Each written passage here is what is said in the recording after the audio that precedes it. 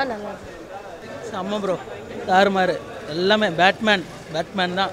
நல்லா இருக்கும் நல்லா இருக்கும் பார்க்கலாம். டிசி ஃபேன்ஸ் வந்து பார்க்கலாம். டிசி ஃபேன்ஸ்க்கு ரொம்ப பிடிக்கும் ஆஸ் அன் எம் எமர்ஜிங் பேட்மேனா நீங்க பார்த்து தான் ஆகணும் வேற வழி கிடையாது. இவர் தான் இனிமேல் நியூ ஏஜ் பேட்மேன் அதனால நீங்க பார்த்து தான் ஆகணும். ஸோ அதனால படம் நல்லா தான் இருக்கு. பாருங்க. ஆனா லேக் ரொம்ப லேக் அநியாய ரொம்ப லேக் lag. ரொம்ப லேக் கட் பண்ணிருக்கலாம் பொறுமை வேணும். டி காமிக்ஸ் படிச்சவங்களுக்கு டிடெக்டிவ் பேட்மேன் ரொம்ப பிடிக்கும். இப்போ எங்களுக்குலாம் வந்து நாங்கள் காமிக் படிச்சிருக்கோம் டிடெக்டிவ் பேட்மேன் தெரியும்.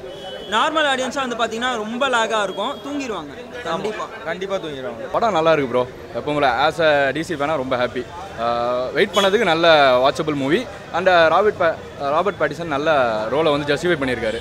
அதில் எந்த டவுட்டும் இல்லை. ஆ எங்கேஜ் தான் ப்ரோ போகுது. ஃபர்ஸ்ட் ஹாஃப் வந்து நல்லா விறுவிறுன்னு போயிடுது. செகண்ட் ஹாஃப் வந்து கொஞ்சம் ஸ்டோரி வந்து ஸ்டாப் ஆகி கொஞ்சம் அவங்களுக்கு நமக்கு அந்த டீட்டெயிலிங் பண்ணுறாங்க அதனால் உங்களுக்கு வந்து கொஞ்சம் ஸ்லோவாகிற வர மாதிரி தெரியும். ஆனால் வந்து கடையோடு பார்க்கும்போது உங்களுக்கு ஸ்பீடாக தான் இருக்கும்.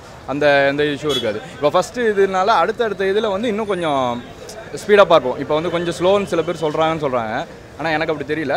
ஆனால் வந்து அடுத்தடுத்த மூவியில் வந்து ஏன்னா இப்போ தான் ஸ்டோரி பில்டப் பண்ணும்போது புது பேட்மேன் வராங்கன்னா ஃபஸ்ட்டு அந்த மாதிரி இருக்கும். அடுத்து வரும்போது மூவிங் நல்லாயிருக்கும் படத்தில்.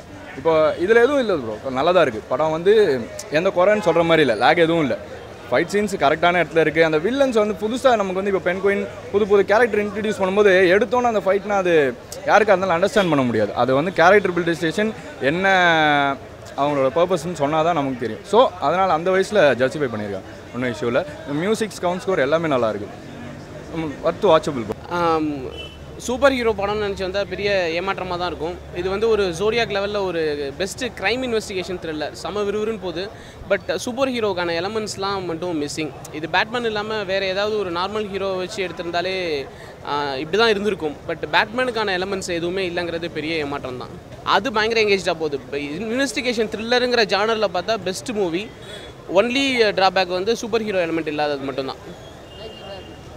எல்லாமே நல்லா இருக்குது பிஜிஎம்லேருந்து எல்லாமே பெஸ்ட்டாக இருக்குது இந்த பேட்மேனுங்கிறத தவிர்த்துட்டு பார்த்தா best movie best crime investigation thriller படம் வேற லெவல்ண்ணா நல்ல சஸ்பென்ஸாக இருந்தது. ஸ்க்ரீன் ப்ளே கொஞ்சம் ஸ்லோ பட் சஸ்பென்ஸ் த்ரில்லர் சூப்பராக இருந்தது. கொஞ்சம் ஸ்லோவாக போகுது. ஸ்லீப்பியாக இருக்குது பட் நல்லா தான் இருக்குது மேக்கிங் நல்லா தான் இருக்குது பக்கா பேட்மேன் மூவி சூப்பராக இருக்குது இல்லை வேஸ்ட்டாக வெயிட் பண்ணாதீங்க.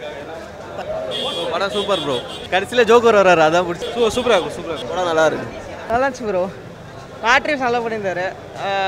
மொத்தமாக டார்க்காக இருக்கு. போய் பார்க்கலாம். க்ரைம் த்ரில்லர் தான். ஆ நல்லா தான் போகுது என்கேஜ்டா அந்த ரிட்லர் அந்த கொஷின்ஸ் வச்சு நல்லா தான் போகுது எல்லாம். போர் அடிக்காமல் நல்லா போகுது. ஆ மேக்கிங் நல்லா இருக்குது மியூசிக் நல்லா இருந்துச்சு. மைக்கேல் கோஷ் நல்லா பண்ணியிருந்தாரு அவர்.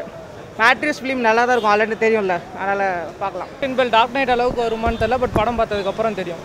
அவ்வளோ